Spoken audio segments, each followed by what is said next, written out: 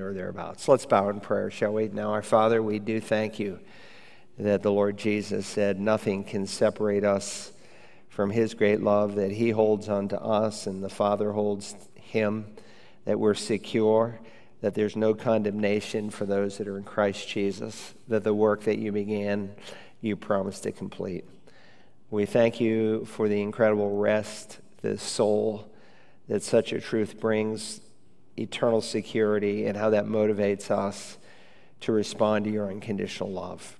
We know a day will come, our Father, when we will stand before your Son, to whom all judgment has been entrusted. And we pray that our judgment as believers, well, that it would be pleasing, that we will have lived and invested our lives well. So, whatever season of life we may be in, wherever we may be at in this journey, help us going forward to use our lives for the glory of Jesus, in whose name we pray. Amen. All right, this is topic eight in our basic discipleship course. It's entitled Developing an Eternal Perspective. And so we've been looking at a lot of different aspects of that. Most recently, we're in that section in terms of what God will actually judge us for. He will judge us for the things we've done, He will judge us for the things that we've attempted to do and He will judge us for the motive of why we did what we did. You can do a good thing with the wrong motive for self uh, glory or whatever it might be, and it can be wood, hay, and stubble at the judgment seat of Christ. And now we're dealing with how those rewards will be administered. And again, the judgment seat of Christ is really the reward seat of Christ. It's not a Christian purgatory where God punishes us because on the cross, the Lord Jesus shouted, It's finished, it's paid in full. But it is a time of evaluation. We often call it the judgment of the just because this is distinctly different from other judgments that are found in Scripture. And I know you've had some questions on that, but we won't address those tonight because I'd like to get this handout finished this evening. But we'll come back to some of those questions uh, concerning the five different judgments that you see in, in the New Testament. So um, those judgments are given in terms of crowns. And we saw the first crown is what we call the imperishable crown. And it's given to the believer who lives a self disciplined life. By self disciplined, I mean dependent on the Spirit, because a fruit of the Spirit is self control. Certainly, an unbeliever can have an aspect of self control, but if a fruit of the Spirit is self control, then the self control the believer exhibits is different from that of a lost person.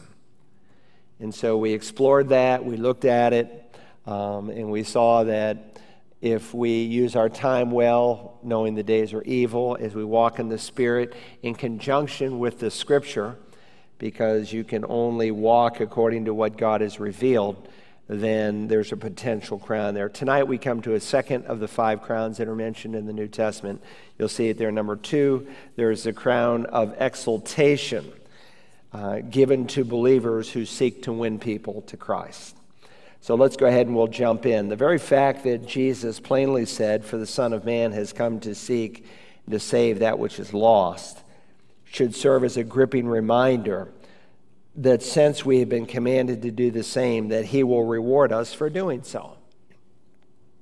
What's his purpose statement? Well, there's a number of times when he gives some direct purpose statements, but this is one of them. The Son of Man has come to seek and to save the lost.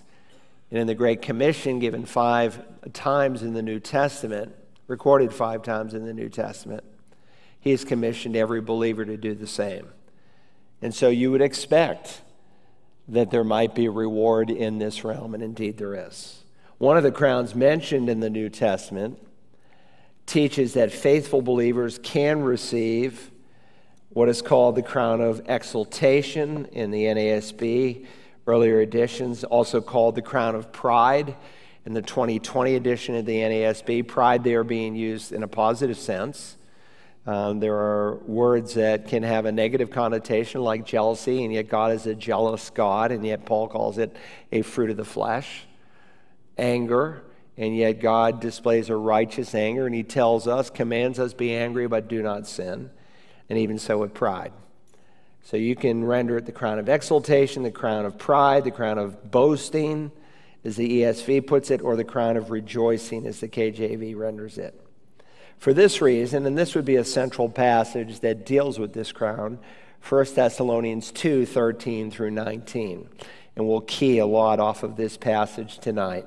For this reason, we also constantly thank God that when you receive the Word of God, which you heard from us, you accepted it not as the Word of men, but for what it really is the Word of God, which also performs its work in you who believe.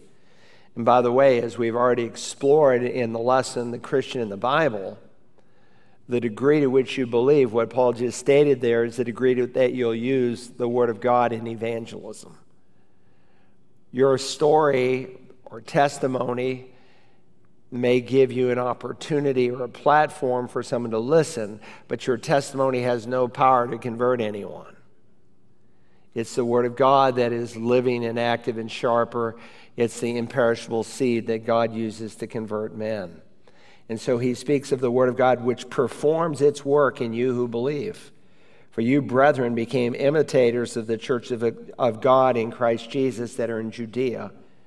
For you also endured the same sufferings at the hands of our own countrymen, even as they did from the Jews, who both killed the Lord Jesus and the prophets and drove us out. They are not pleasing to God, but hostile to all men, hindering us from speaking to the Gentiles, so that they may be saved. With the result that they, that they always fill up the measure of their sins. But wrath has come upon them to the utmost. But we, brethren, having been taken away from you for a short while in person, not in spirit, were all the more eager with great desire to see your face. For we wanted to come to you, I, Paul, more than once, yet Satan hindered us. For who is our hope or joy or crown of exultation? Is it not even you in the presence of our Lord Jesus at his coming? So, this crown of boasting or rejoicing or proud pride concerns those people that God brings to himself through faithful servants willing to share the gospel.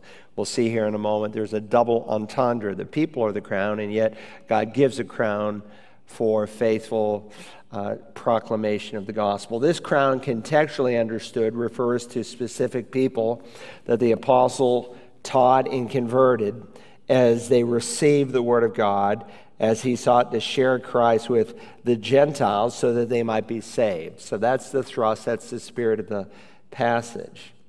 Every Christian can and should be an instrument in the hands of God that he might use us for winning precious souls to a saving knowledge of our Lord Jesus.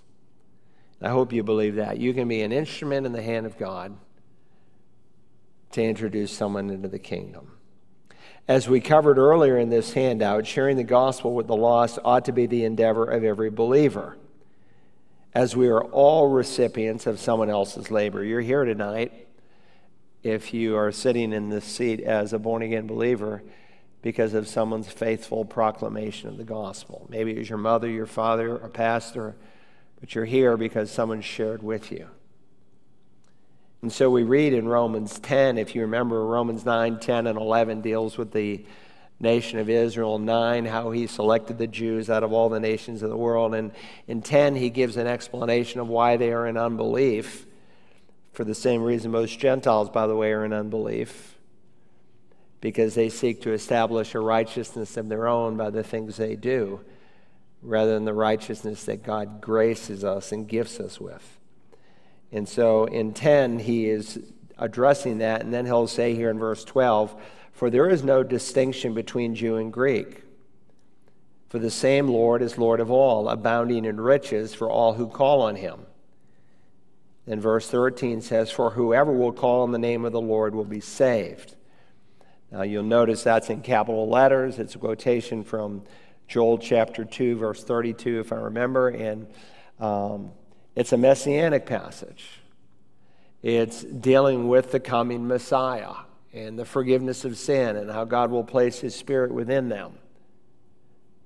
But Paul applies it to Jesus because Jesus is the promised Messiah.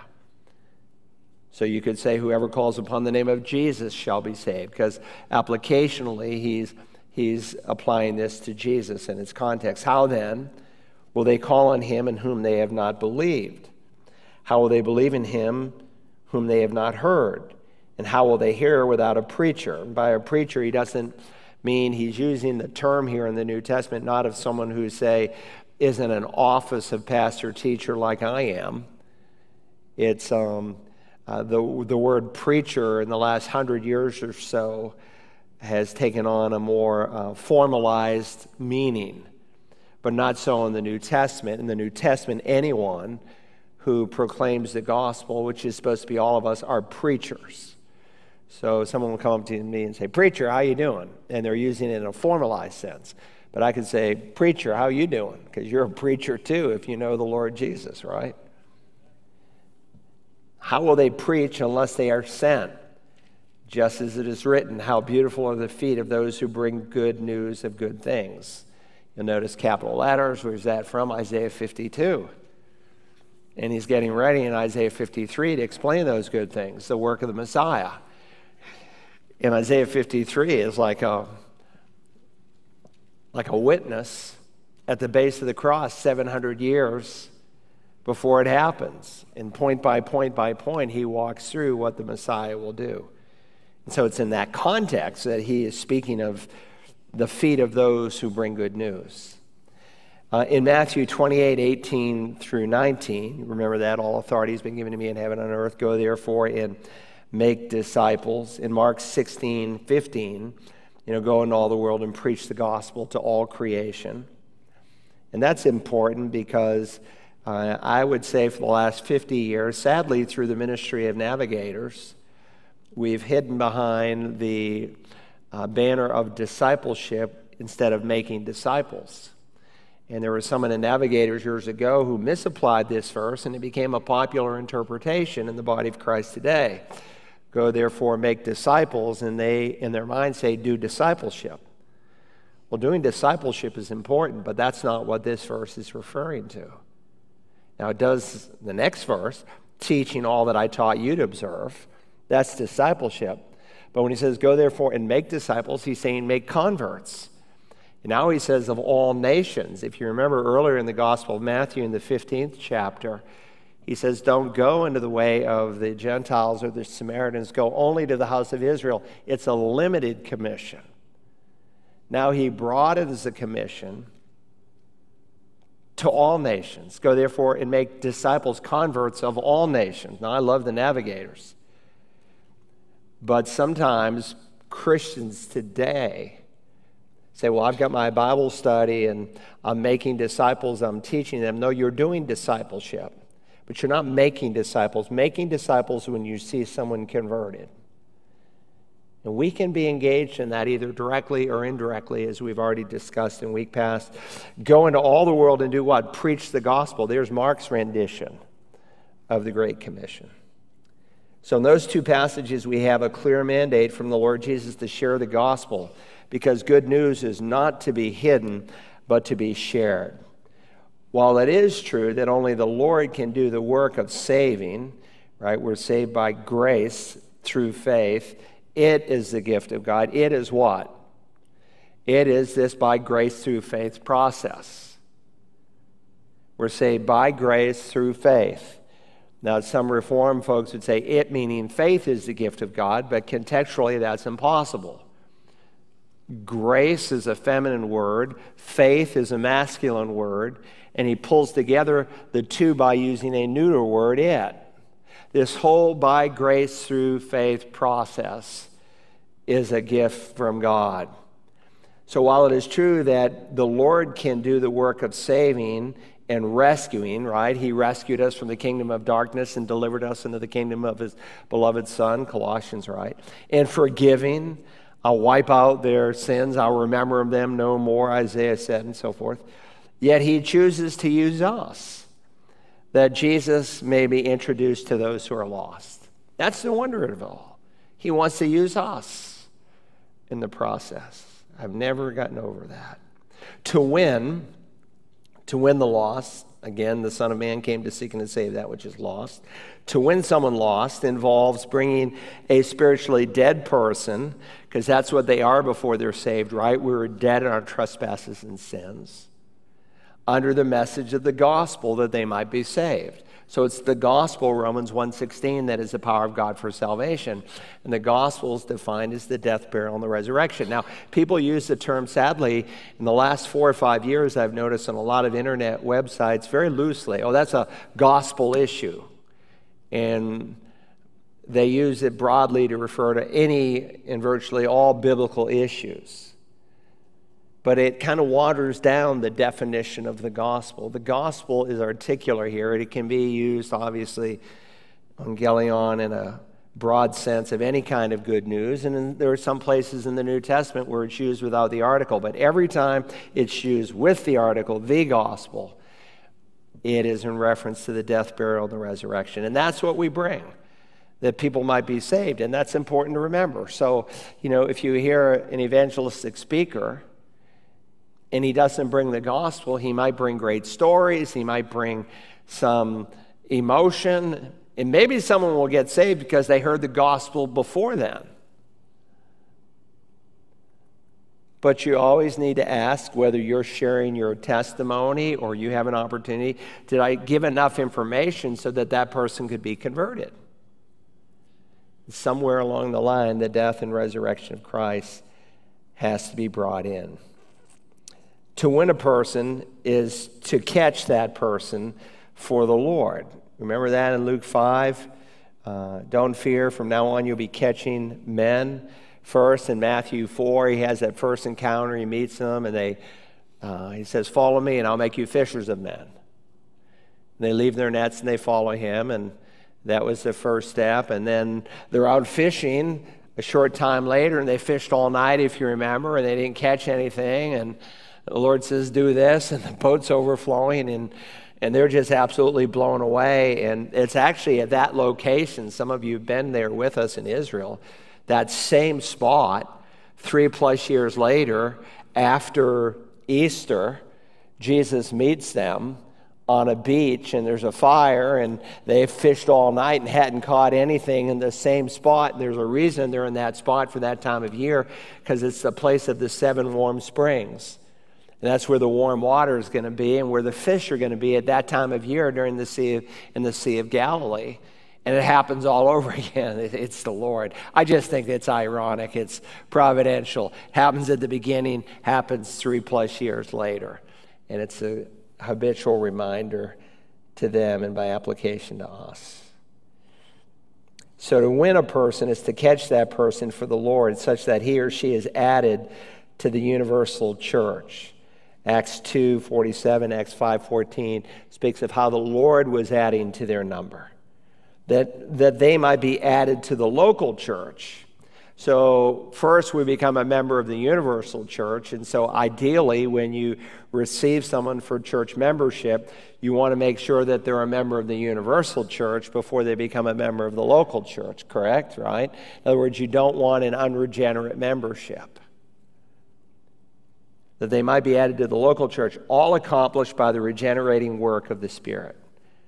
The Spirit of God does this. Again, Jesus said, Follow me, and I will make you fishers of men. John 16, John said, And he, when he comes, Jesus is giving the promise of the coming Spirit. What will he do? He'll convict the world concerning sin and righteousness and judgment. So I can't convict someone of sin. That's something only the Spirit of God can do. Now, again, he uses the Word of God and he uses a spirit filled individual to do that, but that's a work of God. Paul wrote to the Corinthians, For since in the wisdom of God, the world through its wisdom did not come to know God, God was well pleased through the foolishness of the message preached to save those who believe. So it's a work of the Spirit, but it's a message that's preached. And so our message may seem foolish to people, a stumbling block, Paul will say in the same chapter to, to the self righteous, but to those who believe, he says it's the power of God for salvation. But it has to be preached, has to be heard in him, Ephesians 1, in him, in Christ, you also, after listening to the message of truth, the gospel of our salvation, having also believed, you are sealed in him with the Holy Spirit of promise. So the order is important. They listen. You can't believe something you haven't heard. You listen, you believe, and then you're regenerated. So regeneration always takes place after conversion. In reform circles, they say you're born again before you believe. They're just hard pressed. And in reform circles, they don't believe everybody is savable. Only those that God has chosen. We'll deal with that later next year. Number 12, while in ourselves we might feel timid or reluctant to share Christ, the Holy Spirit is our helper. He will give us wisdom in sharing the gospel. Remember, Jesus said, Look, they're going to drag you into the synagogues, they're going to accuse you of this or that, and some things you can't prepare for. But God will give you the words you need at the moment. And sometimes, you know, you have evangelistic appointments that are very formal and very prepared, and, and other times you, you can't prepare for them. And so we were away last week at this conference, and half the hotel staff were Haitian. I shared with more Haitian people than I've ever shared in my whole life, as far as I know. I mean, it's just all kinds of people. And then we we're in other contexts where, like, God, this is providential. How is this conversation going to be turned to Christ? And God just gives you the idea and what He wants you to say when you need it. Now, in this case, it's in terms of persecution, the illustration from Luke, and even there. Not to mention the needed confidence and boldness. We need confidence, we need boldness. Remember in Acts 4, they were spirit filled Christians. They were beaten up and persecuted. So they get together and one, they remind themselves of who God is and that great prayer of how great God is. And God, you see their threats, and, and the place shook and almost like God said, Amen. And, and the scripture says they were filled with boldness to keep on keeping on. Now, as they observed the confidence in Acts 4 of Peter and John and understood that they were uneducated and untrained men, they were amazed and began to recognize them as having been with Jesus.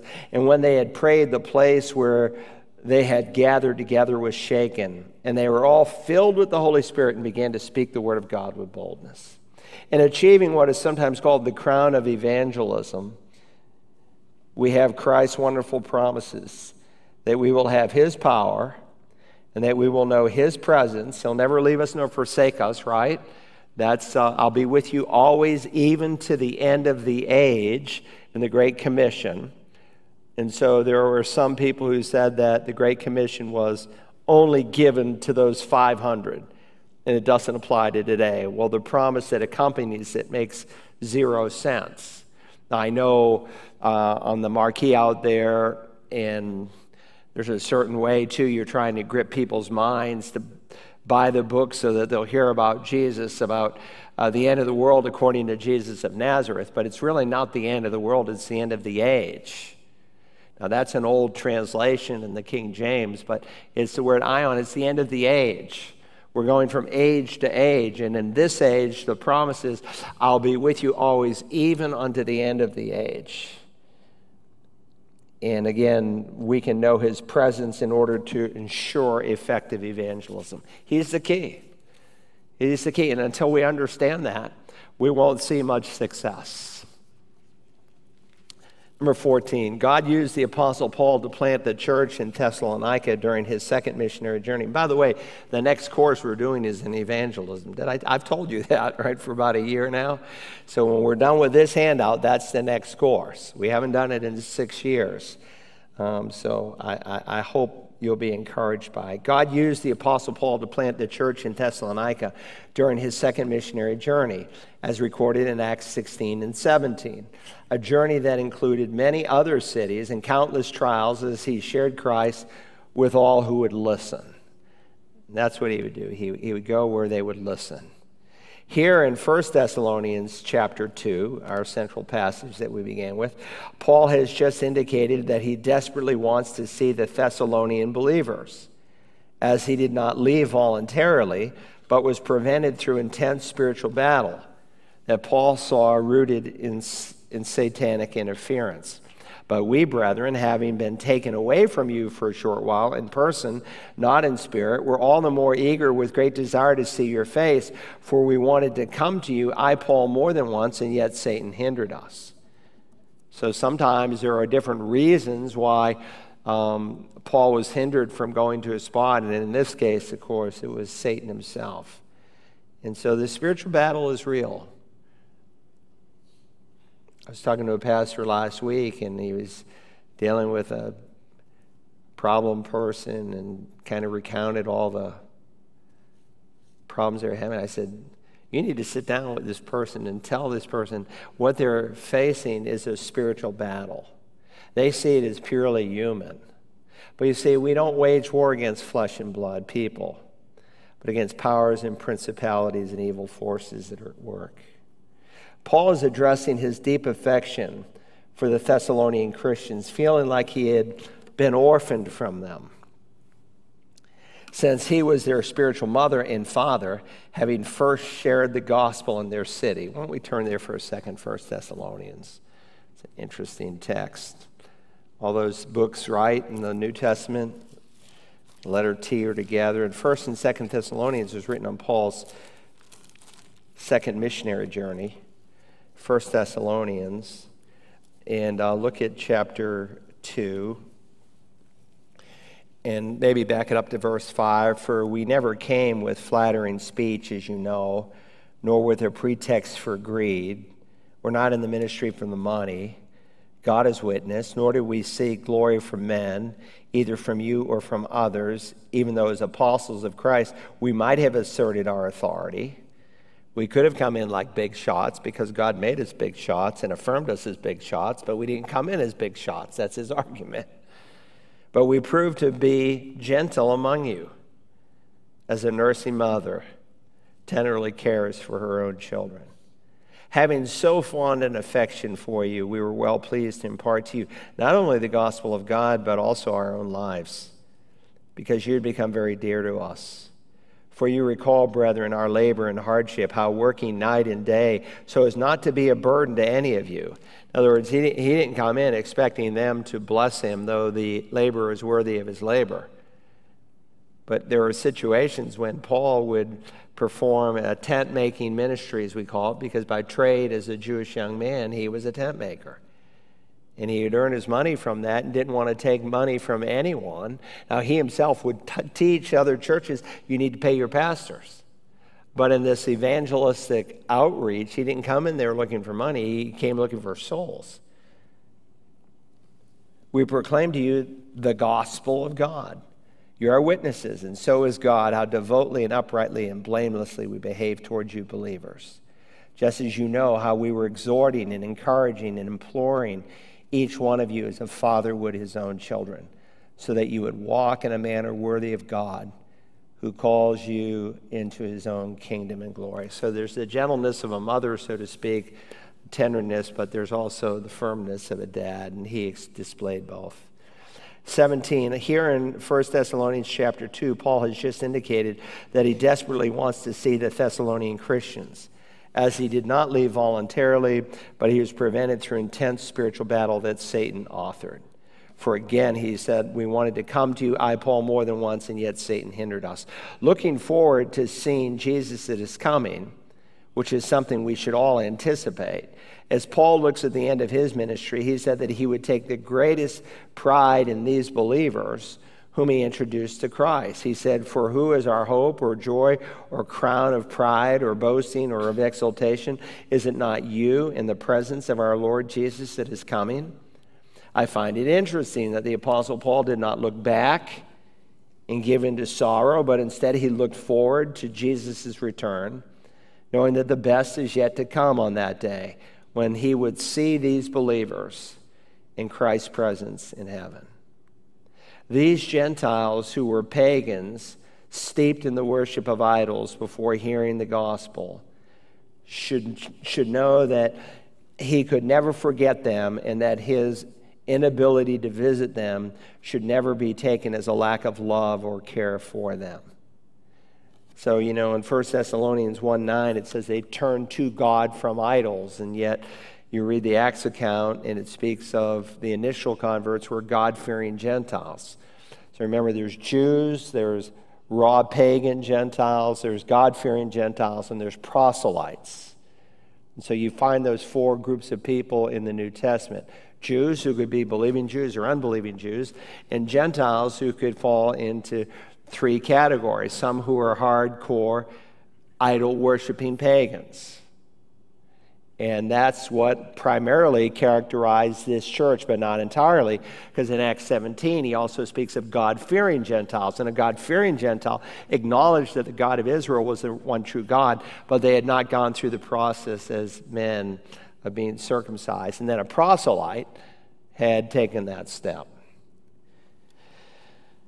For they themselves report about us what kind of a reception we had with you and how you turn to God from idols to serve a living and true God. Notice they turn to God from idols, they don't turn from idols to God. And there's a difference. You can't clean up your act to come to God.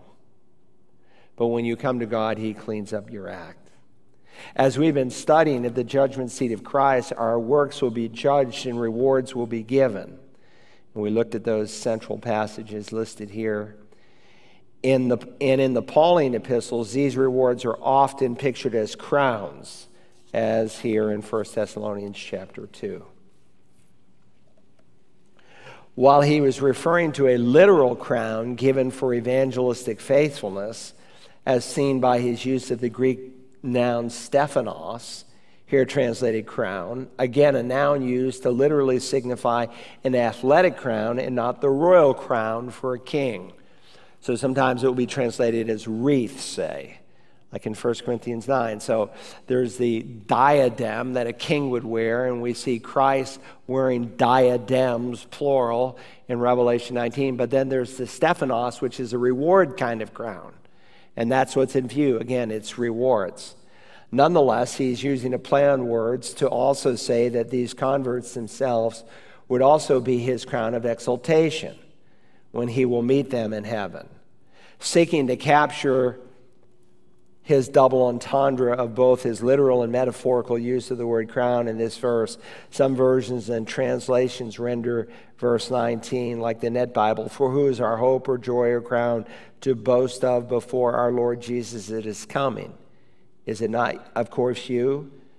Or the NIV 84, different from the 2011? For what is our hope, our joy, or the crown in which we will glory in the presence of our Lord Jesus when he comes? Is it not you? After all, the NLT says, What gives us hope and joy, and what will be our proud reward and crown as we stand before our Lord when he returns? It is you. Or the CJB, for when our Lord Yeshua returns, what will be our hope, our joy, our crown to boast about? Won't it be you? We've seen this theme already of believers in heaven who have been influenced through the gospel, who will someday be there to greet you in heaven. We studied that, if you remember, in Luke 16.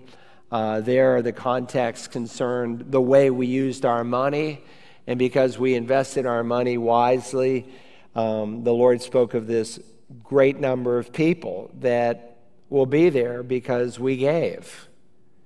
I was thinking about that today. I took a break and been studying all day, went running, and I thought we need to get an update on that last Bible translation and see where, where they're at.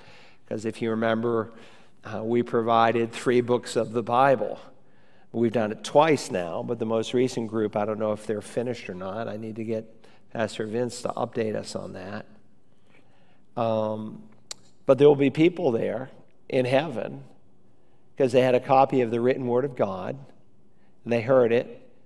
And maybe the verse that you paid $25 for is the verse they were saved from. Wouldn't that be cool, huh? anyway.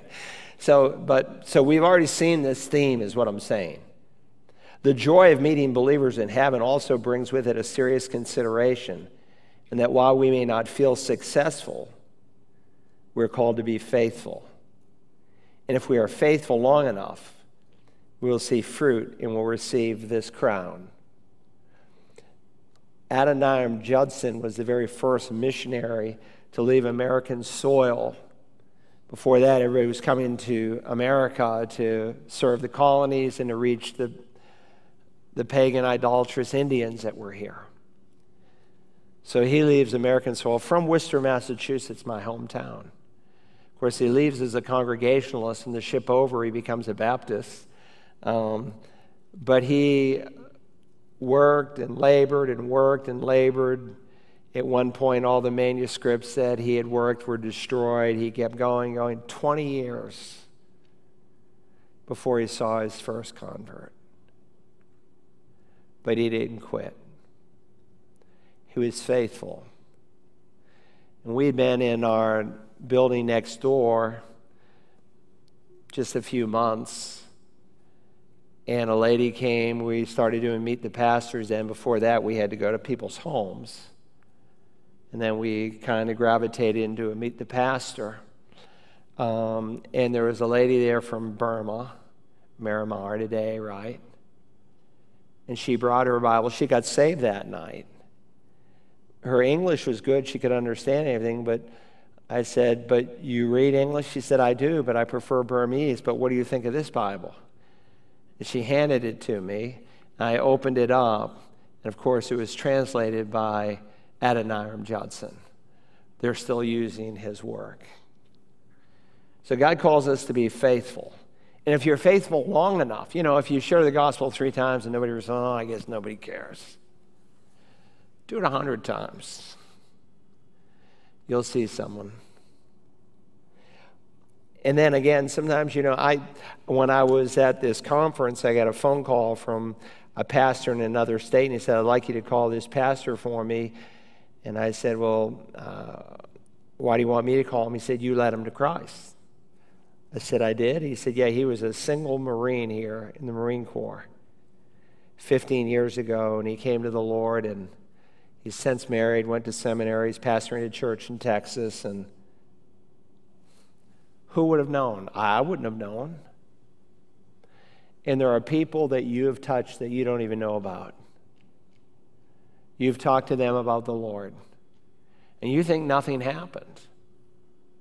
And for some of you, that was the first, sometimes in a long line of people that brought that man or that woman into the kingdom.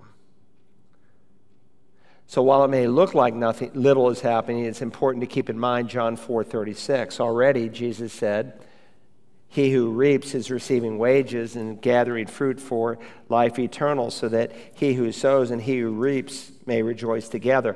For in this case the saying is true, one sows and another reaps. I sent you to reap that for which you have not labored, and others have labored, and you have entered into their labor. When we see someone come to Christ, we must never forget as reapers that the harvest we enjoy is very often the fruit of another believer's toil. Jesus is teaching us an invaluable lesson. Since seed in the past has been planted, and if you study John 4 carefully, it appears that from what we know in John's gospel, this was the work of John the Baptist and his disciples. They were plowing up the ground, preaching Messiah's coming.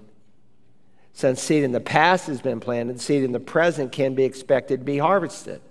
And both the sower and the reaper will someday be rewarded. So sometimes you're sowing seed, someone else reaps it. We have a brother who, um, I would say, pretty faithfully brings people to meet the pastor. He just shows up and he cares for people that have physical needs and he wants to make sure they're saved.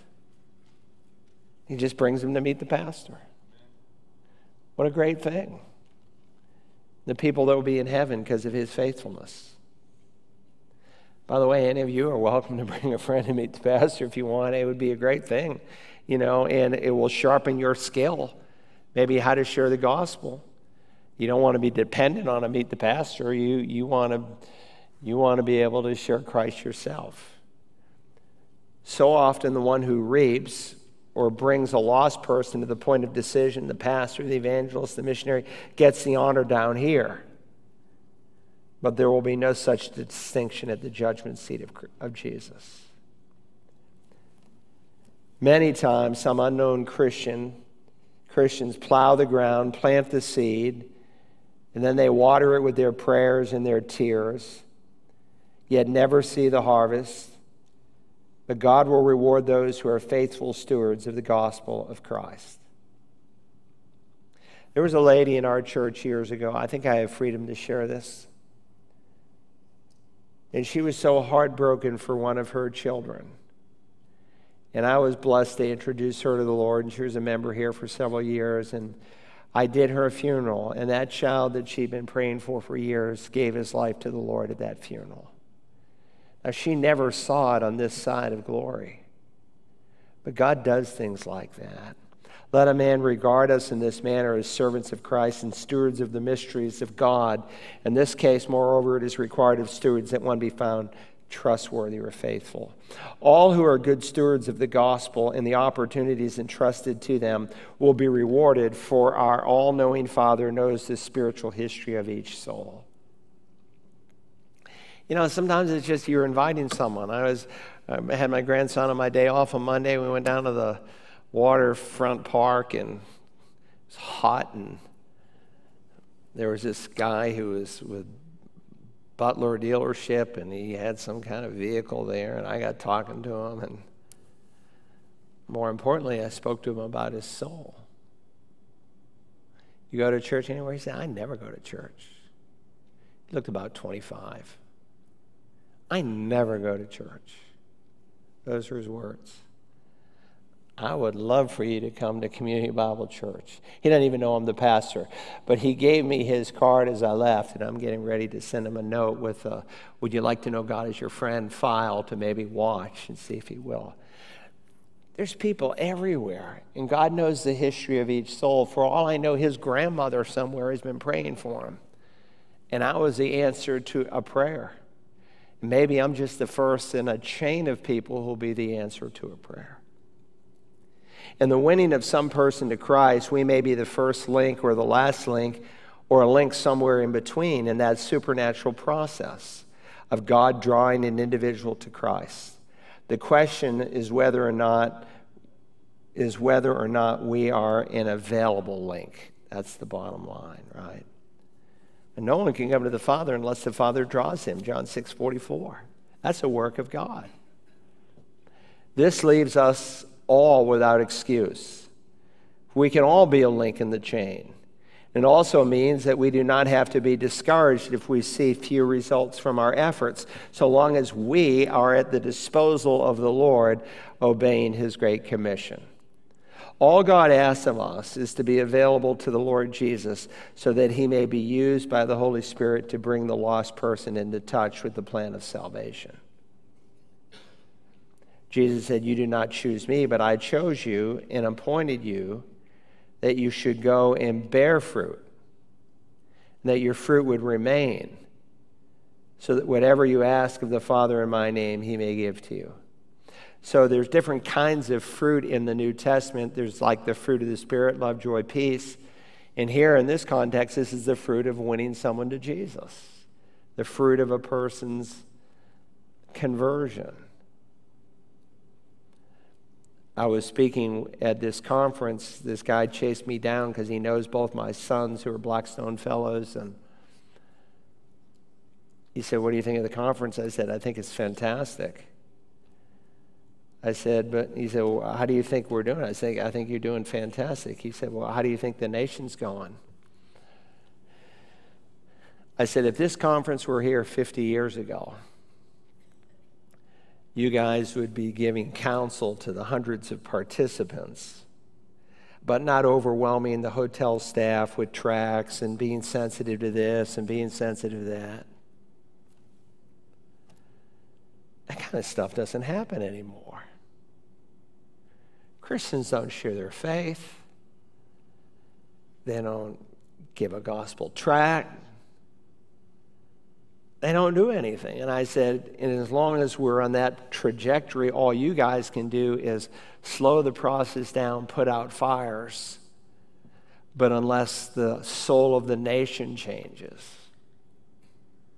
we're sunk. Now, I prefer Donald Trump, obviously, over Joseph Biden. Do I think the Republican Party has some problems? They surfaced some major problems last week, obviously. But do I think Donald Trump is the solution? I think he can slow things down at best.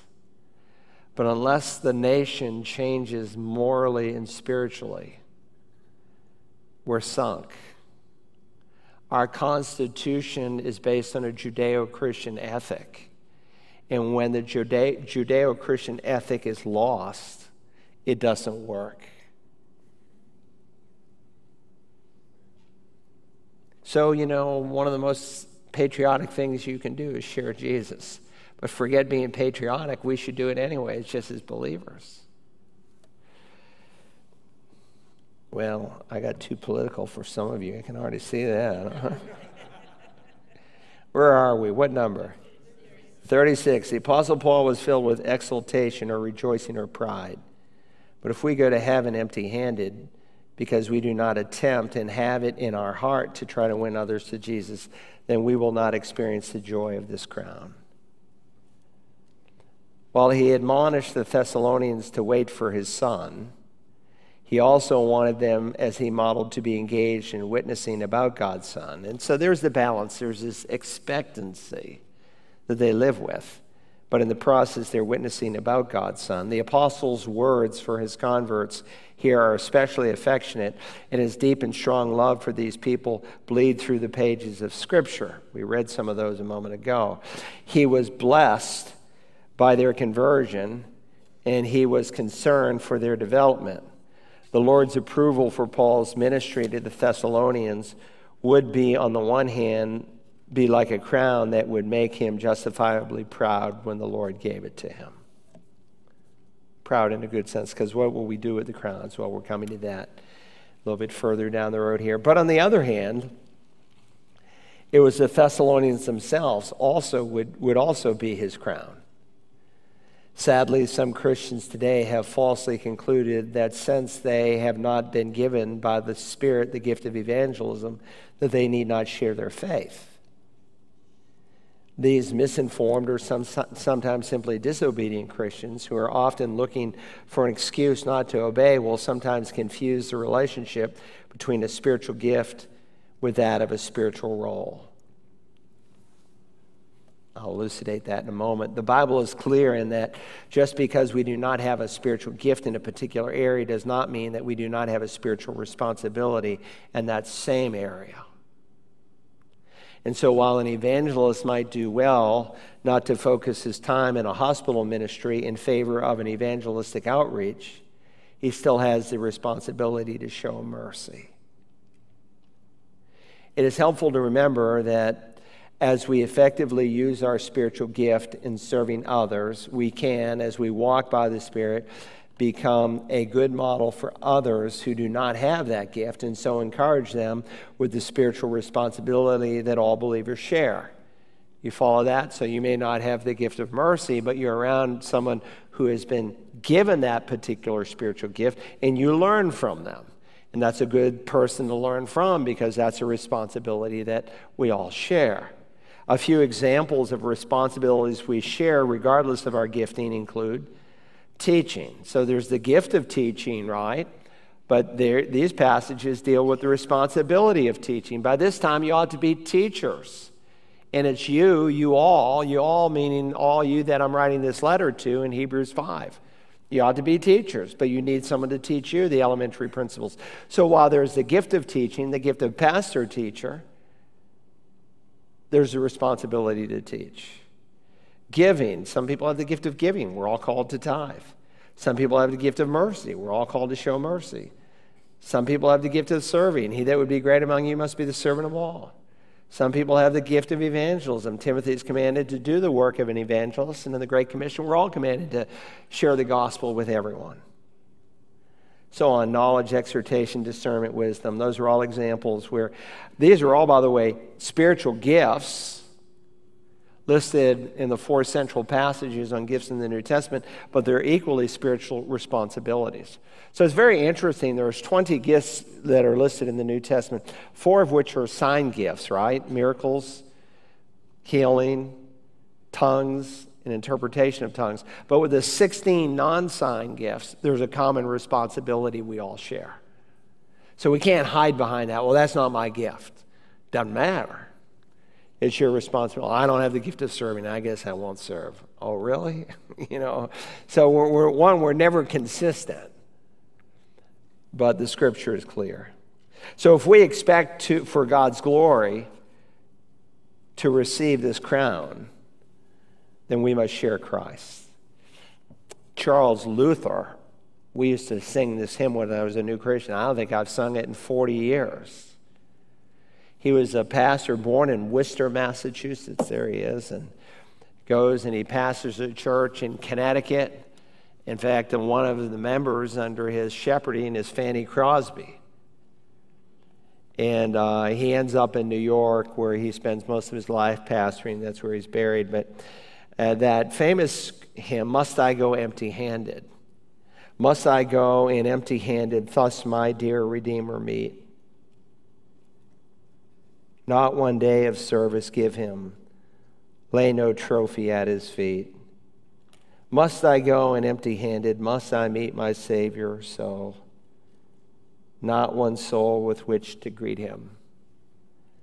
Must I empty handed go?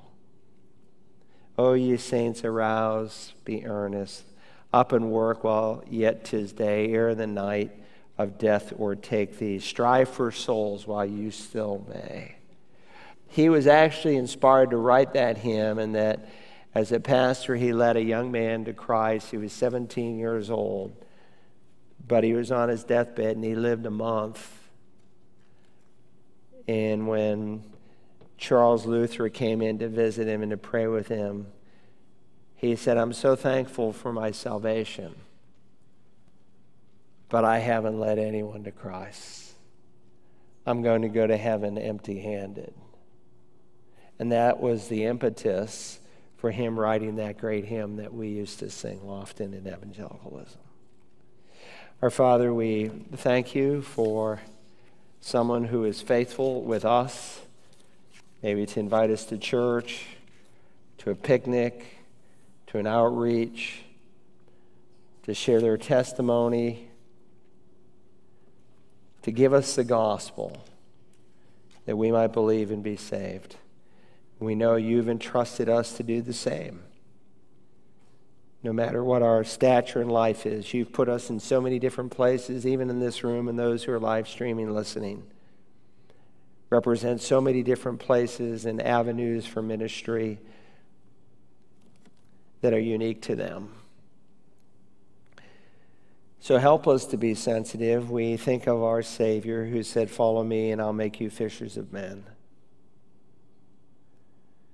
That if indeed we are following him, we will fish for men. We know it is your work to convert, that we can convert no one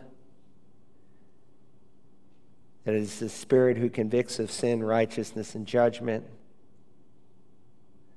and reveals the truth of the gospel. But we are so thankful that you would use us for how will they call upon him in whom they have not heard, and how will they hear unless someone tells them. So help us to be faithful stewards of the gospel that you've entrusted to each of us, we ask in Jesus' name.